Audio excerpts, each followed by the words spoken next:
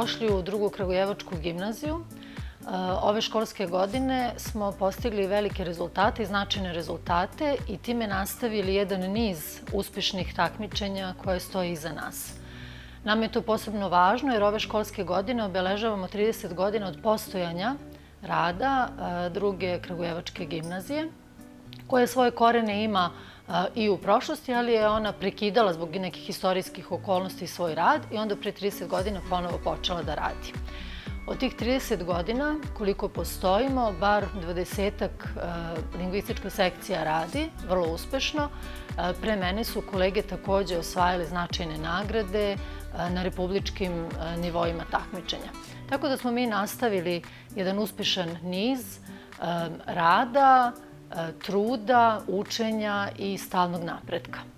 Lingvistička sekcija je grupa učenika koji su motivisani da proučavaju jezik, a lingvistika kao naučna disciplina je relativno mlada naučna disciplina. Ona postoji negde od e, kraja 19. i početka 20. veka, mislim mlada u odnosu na ostale nauke koje se proučavaju ovde kod nas u školi i e, kao osnivač e, moderne savremene lingvistike e, pominje se švajcarski lingvista Ferdinand de Saussure. Dakle, od njega pa nadalje lingvistika je naučno utemeljena kao jedna disciplina koja može da se proučava sa više strane i sa više aspekata. I mi sad ako bismo nabirali koje sve vrste lingvistike postoje, videli biste da mi ulazimo u sve sfere života. Znači, to je opšta lingvistika, psiholingvistika, sociolingvistika, diahroninska, sinhroninska, neurolingvistika, matematička lingvistika, teorijska, primenjena, forenzička, znači sve oblasti života možemo da pokrijemo po tim nazivom. Ako hoćemo da prevedemo termin lingvistika na neki naš jezik, onda bi to bilo jezikoslovlje. I mi smo ove školske godine sve radove učeničke objedinili u jednu zbirku tekstova, odnosno naučnih radova, koji smo tako i nazvali jezikoslovlje i poslali taj, tu zbirku ili taj priručnik na takmičenje e, lingvističkih sekcija. Dakle, to nije individualno takmičenje, nego takmičenje sekcija, ali e, tu su prikazani i predloženi individualni radovi učenika. Šta je to što mi učimo u okviru lingvističke sekcije? Prvo učimo tehniku naučnog rada, tehniku istraživanja i pisanja naučnog rada i tu se brusi jedna osobina koja mislim da mladima danas e, sve više ponestaje, a to je strpljenje. E, danas kada, su, kada im je sve živo dostupno, na jedan klik, veoma brzo, mislim da im ponestaje strpljenja, a svako naučno istraživanje podrazumeva dug, temeljan i spor proces. Učenici su to i sami pomenuli, oni sami to osete i meni se dopada to što oni istrajavaju u svom radu.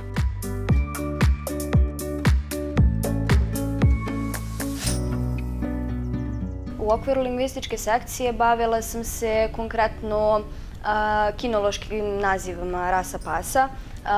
Ja sam učestvovala dve godine za redom na tom takmičenju. U trećoj godini kada sam učestvovala, moja tema je bila porekla i nastanak kinoloških naziva rasa pasa, dok je u četvrtoj godini ta tema malo uže obuhvaćena i glasila je porekla i nastanak kinoloških naziva rasa pasa treće FCA grupe. Ja se bavim kinologijom već 12-13 godina i to me inspirisalo da, da, da pišem o tome zato što je to nešto što mi je blisko i što sam proučavala tokom godina ne samo u tom lingvističkom aspektu nego i u drugim aspektima. I kada sam razmišljala o tome koju ću temu izabrati, razmišljala sam u tom nekom smeru da pišem o nečemu što mi je blisko. I tako sam odlučila da, da to bude moja tema. Koristila sam zvanično priznatu literaturu Kinološkog saveza Srbije i to mi je bio glavni izvor informacija. Hipoteza je postavljena tako da otkrijem na osnovu čega je većina rasa pasa dobila ime i tokom tog istraživanja saznala sam da je najveći broj rasa dobio naziv, odnosno ime rase, po a, mestu odakle potiče. Postoje rase koje su dobile nazive po odgajivačima, po nekim karakteristikama koje su specifične samo za tu rasu. Bilo je i onih koji su dobili naziv po svrsi koju su služili.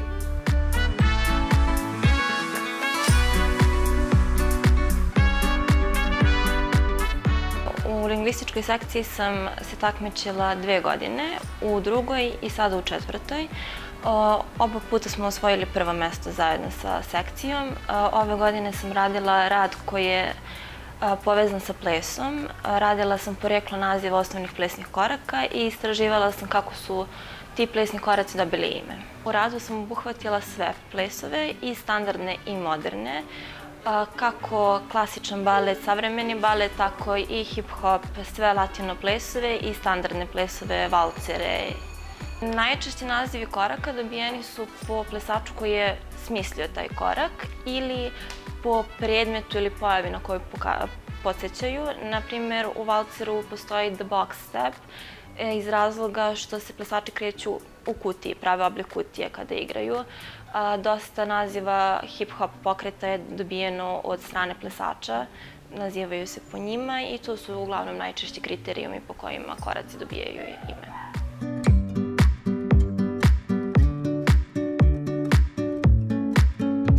Moja tema je bila poreklo naziva i osnovnih pojmova borilačkih veština. E, tu temu sam izabrala zato što od malena imam tu neku ljubav prema borilačkim veštinama i trenirala sam par godina uh, realni aikido. Uh, ono što bih istakla uh, sa dešavanja lingvističke sekcije, pa ne znam, sve je uvijek bilo interesantno i dinamično i konstantno smo održavali kontakt kako mi među sobom u odeljenju, tako i sa našim mentorom, tako da ne, ne mogu da izdvojim jednu stvar.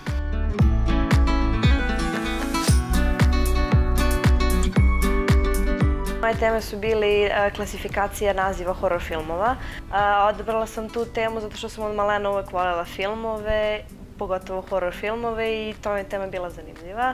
A u lingvističkoj sekciji je bilo, bilo nekako prelepo, lepo smo se zabavljali dok smo istraživali i pomagali jedni drugima.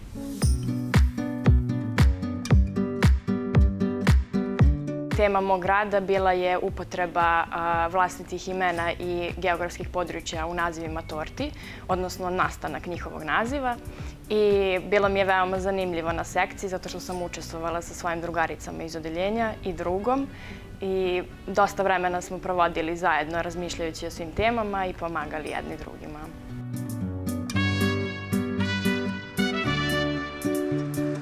Moja tema je bila naziv i frizura. Ima ih baš dosta zapravo i uglavnom potiču iz francuskog i engleskog jezika i mene baš dosta i zanimalo zašto su baš taj naziv dobili i zapravo koliko se to neko ime koristi u nekim zemljama, ukoliko se i ne koristi u drugim.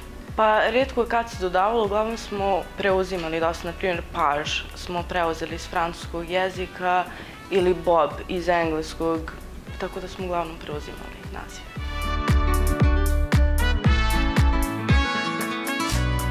Moja tema je bila poreklo srpskih ličnih imena. Zanimalo me odakle potiču imena ljudi koje znam. Pa saznala sam da najveći broj imena potiče iz hebrejskog i iz grčkog jezika. Na, baš najveći broj. U ostalim jezicima pomalo.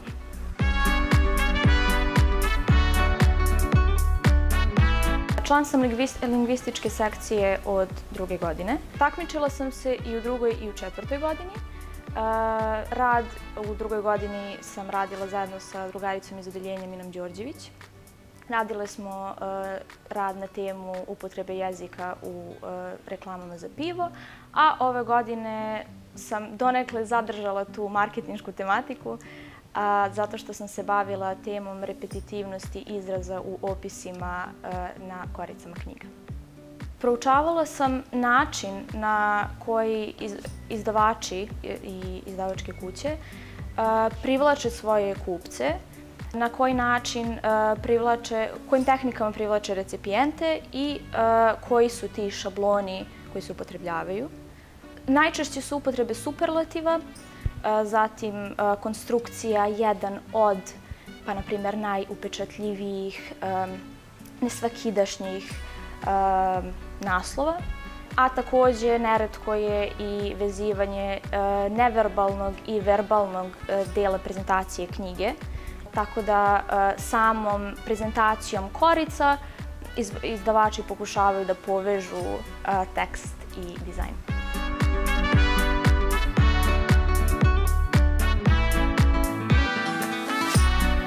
Nije to korist samo što se tiče lingvističke sekcije ili nekog našeg takmičenja ili našeg uspeha kojim volimo da se pohvalimo, nego je to neki zalog koji oni ulažu u sebe za buduće školovanje. Ovogodišnjih deset radova koje smo predložili na takmičenju su toliko dobro urađeni da oni imaju tu kategoriju naučnih radova i da su bezmalo svi oni sada postali maturski radovi koje će oni odbraniti pred komisijom, pred stručnom komisijom, nadamo se za nekoliko dana kada završe sa školom.